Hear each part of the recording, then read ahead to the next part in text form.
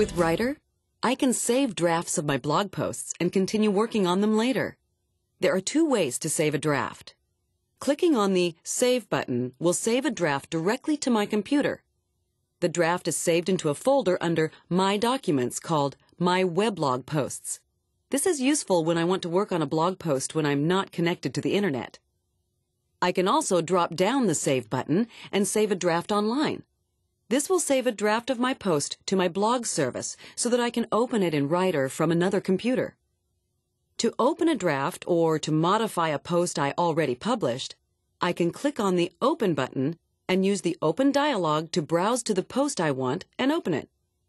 I like to categorize my blog posts under different topics, and I can do this in the Properties tray at the bottom of the window. Because I often forget to do this, I've set an option in Writer to remind me to set the category on the post if I try to publish it without one. It's also possible to preview what my post will look like on the blog before it's published. To do this, I use the View menu to switch into Preview mode.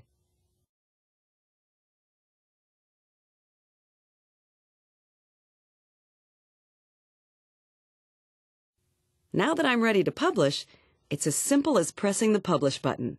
When Writer is finished publishing, it will open my post in a browser window where I can see the final result. I can also print my posts in Writer. The other day, I wrote a blog about my daughter's first soccer goal. We were all so proud of her that we wanted to print the story and hang it on our fridge.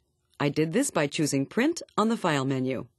Writer has many resources for getting more information from the Help menu. Windows Live Writer Help.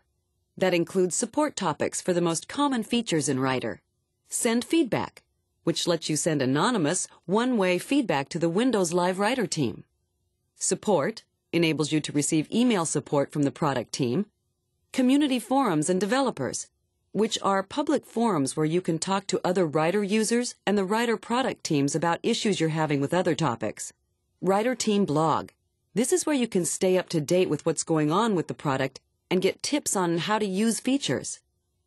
Now you should feel ready to open Writer and start publishing to your blog. Thanks for using Windows Live Writer.